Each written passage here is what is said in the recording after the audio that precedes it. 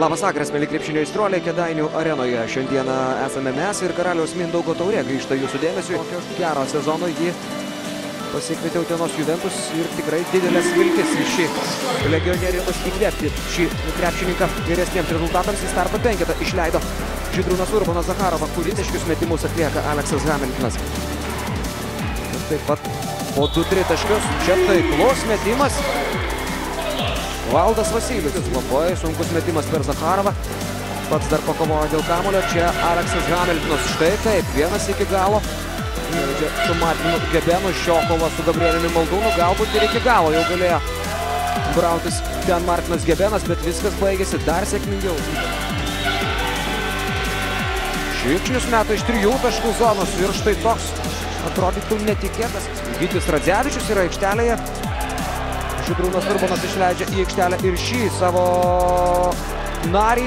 Čiansi Collinsas nepataiko iš pokrepšio, bet...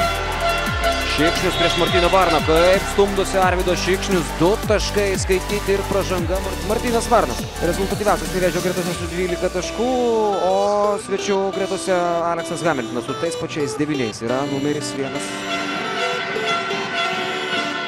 Šikšnius.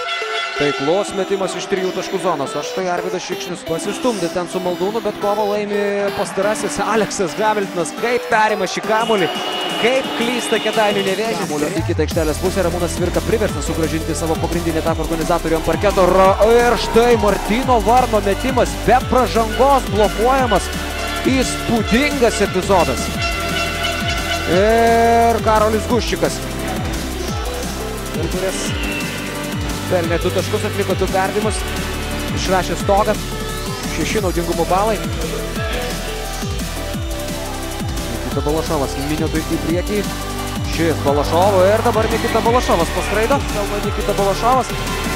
Vos neprisižaidė ten Čiausi Kolinsas, dabar blokuoja Balašovas ir Alekso Hamiltono metimas. Jau ilgą laiką e, nevėžį laiko per 5, 6, 7 taškus Nikita Balašovas pučia.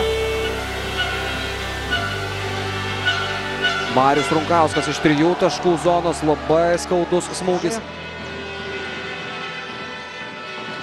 O, kokia galinga Juventus. Aidint finalas Sirenai, toks yra galutinis šių rungtynių rezultatas. Utenos Juventus komanda iškovoja.